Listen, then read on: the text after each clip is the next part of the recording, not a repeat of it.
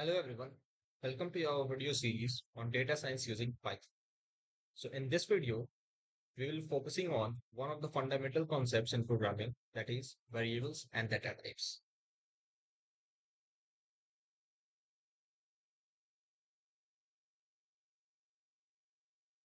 So in this video, we'll see the naming variables, then we'll see the basic data types and how to identify data type of an object then verify if an object is of that certain data type or not, then force the object to a new data type. Okay, means to convert the object to a new data type. Okay, so let's begin.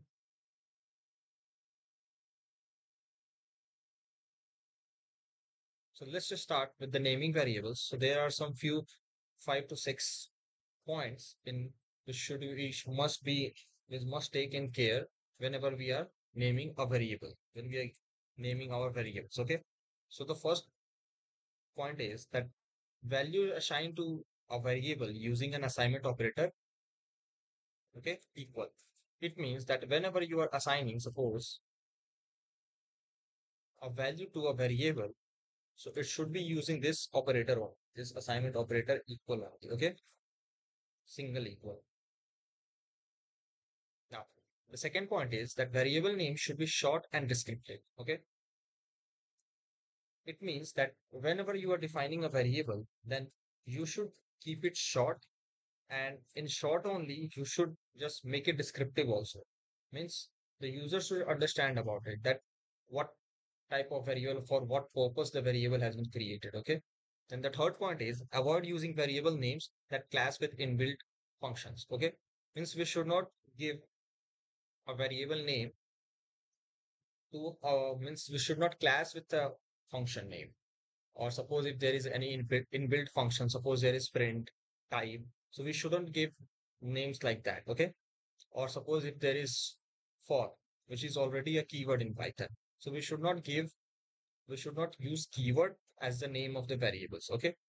Then the fourth point is that they are designed to indicate the intent of its use to the end user. It means that their purpose, the purpose of creating a means meaningful variable is that they just means from the name it should be clear that what purpose for what purpose the variable has been created to the end user. Okay.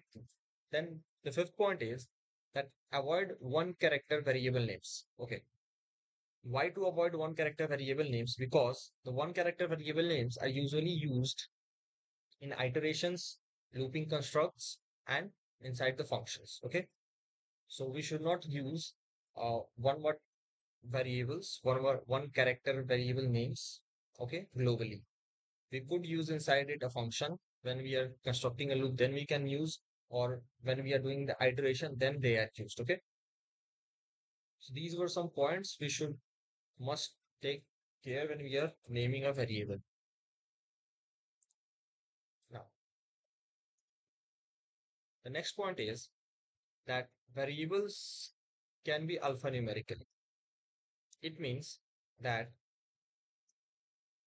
we can name our variable like this. We can keep it age with a capital, okay, and we can keep all the characters of our variable in lowercase also. They both are different, okay?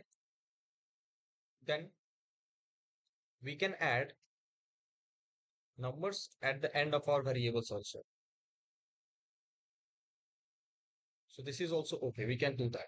But from this example, you will think that you can just give a variable name in starting also. So no, you can't give a name in the starting because it will give you an syntax error. Okay. So the numbers which you, if you want to give, you can give at the end, but you cannot start a number means a variable with a number. It should be always starting with a alphabet only. And that alphabet can be in lowercase or uppercase. Okay. Now, the only special character which we can use is the underscore. Okay.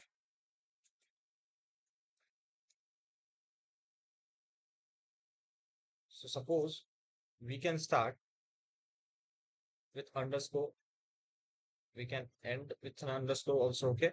but variable names should not begin or end with underscores, even though both are allowed, but it is not a good practice. So always try to keep the underscore in between. Means you can give like this. Suppose if it is you have to give employee age, so you can just use the underscore to part employee and age differently and then combine it. So you can use like this and you can give like this. So this will be true. Okay. This, these two are also allowed means you can start and end with also, but it's not allowed.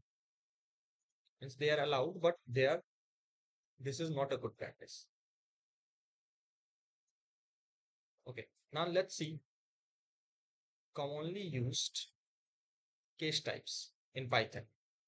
Okay. This means that what are the commonly accepted case types which are which most of the people frequently use. Okay. So first one is camel case. So camel case, uh, it is like this. Suppose we have to give the age of an employer. So we will give like this age M and then 45. Then it could, the A could be in uh, uppercase also. Then also it will be like this. So this is the camel case. Okay.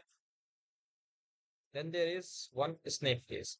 In the snake case, we will part the two words with an underscore.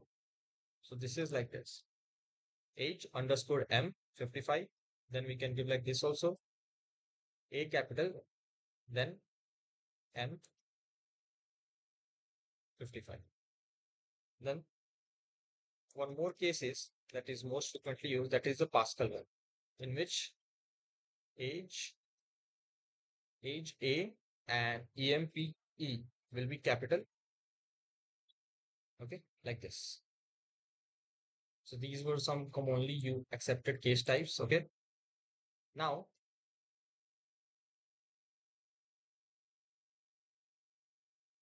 one more thing is there that we can assign values to multiple variables in a single line. So how we can do that? Let's see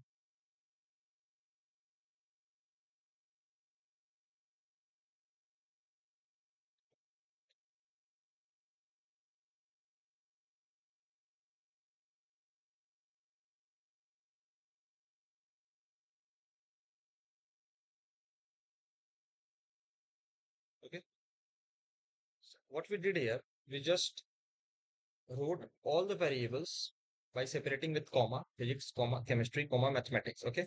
Then what we did we just give the value in that sequence only. Suppose we got in physics if 89 so 89 then in chemistry 19 and then in maths 75 okay? And then after that if you use that particular uh, means these variables separately also then also the value will be same only. Means if you have given for chemistry if you have given 19, then will come up with 90 only okay? So you can assign values to multiple variables in a single line so.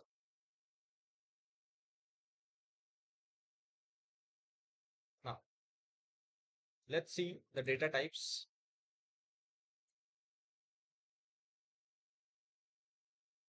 So we have some basic data types with their description values and representations okay? So let's see all of them. So we will start with the boolean so the first data type is boolean which represents two values of logic and associated with conditional statements okay so they have two values with in the boolean there are two values true and false and how the booleans are represented in python with bool b o o l bool okay then there is integer okay so integers could be positive and negative whole numbers. Okay. The values are the set of all integers from the negative to the positive. Okay. Including zero. And what is the representation? int in. Okay. Then there are complex, which contains real and imaginary parts. Uh, suppose x equals 1j. The values it which contains are the set of all complex numbers. Okay. And the representation is complex.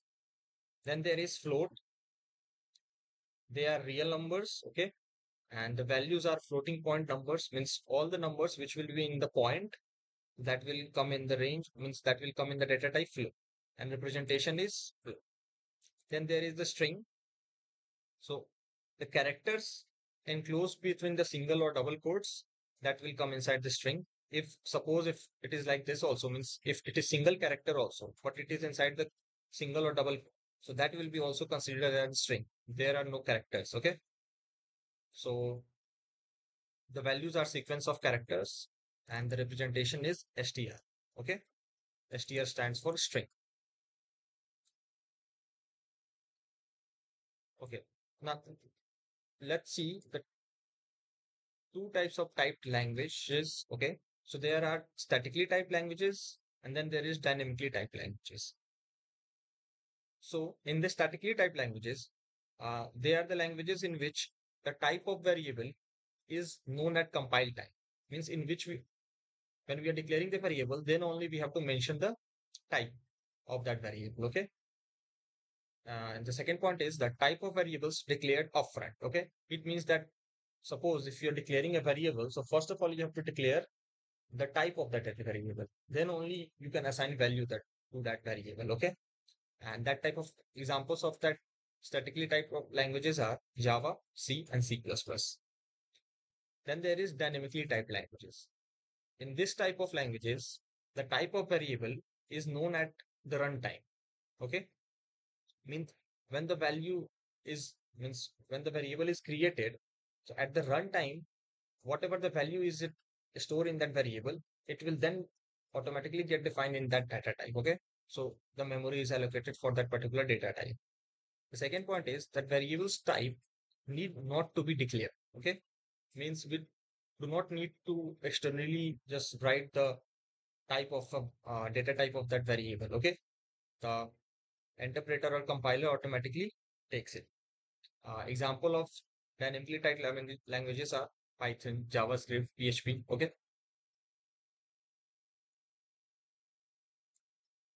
Now, now let's just see that how to identify an object data type. Okay.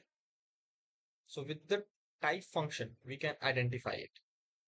So let's just do what? Let's create one employee name and in this name, let's just store Rahul. Then there is age.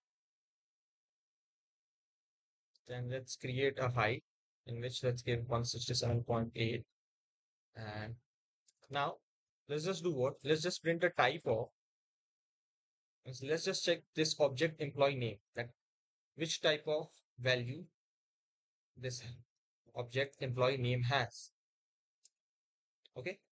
So you can see the type by using the print function. So what you will do, you will just write the print function and inside the print function, you will take the type function and you write the name of the object inside the type function and then it will give you the so here we are getting the output class str it means the data type which this is uh, object has it is of class string.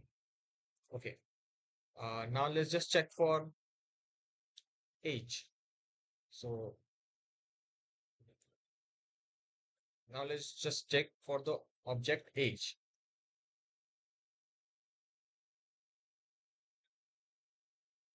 So for when we check for the object age, so it is giving us class int, means it is of integer data type. The value the age object has, it has an integer data type. It is an integer data type. Okay. Now, what we can do, we can verify it also using the identity operator is. So let's see that how we can verify it. For verifying it, what we can do, first we can, then we'll apply is inside the print function only. Type age, then is, let's check for str. So now it is giving us false because it is of not that data type. Okay, so now let's just give integer so now it is returning us true because yes, it is of integer data type. Okay. So this is the way using the is operator, you can check means we can verify also.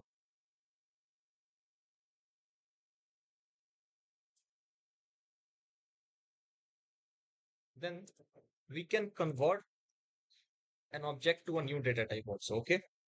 So how we can convert that? For that, first of all, I'll print the type of age. Okay. And now we are going to convert age, which is an integer data type to a string data type. Okay. So let's just see. for that, first of all, we have to create an uh, variable also. So I'll create str underscore age, and in that I'll use the str function, and in that I'll keep the age.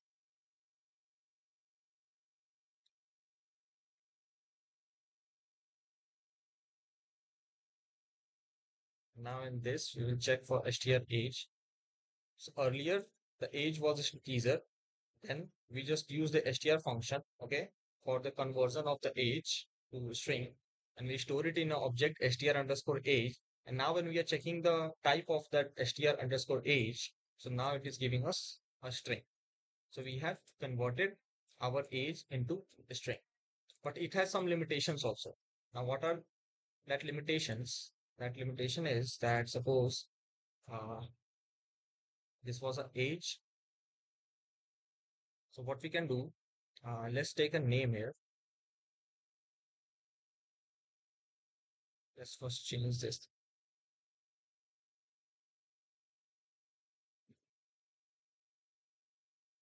Now what we'll do, we will just convert this uh,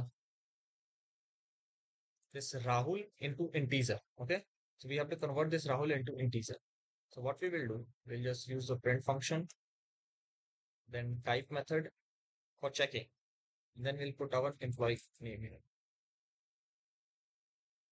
Okay. So now if we'll check it, it is an integer value. Okay. Now we have to convert it into an int value.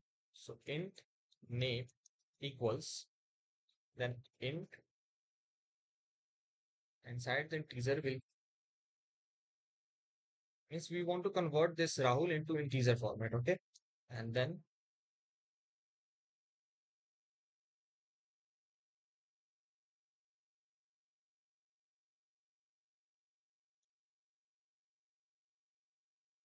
So now as you can see that it is giving us a value error that because Rahul is a string value, so it cannot be converted into an integer, okay? If it was 55, so we just converted 55 into a string value. If in the Rahul, suppose for example, if it was 55, so now then it will get converted. Okay. So now in the employee name, there was 55. So 55 was in the string format. Then we converted that into integer format. So that we can do. But if there are names, so these are some limitations also. Okay. So I hope you understood about variables and data types. Okay. So thank you for watching the video. We'll see you in the next video.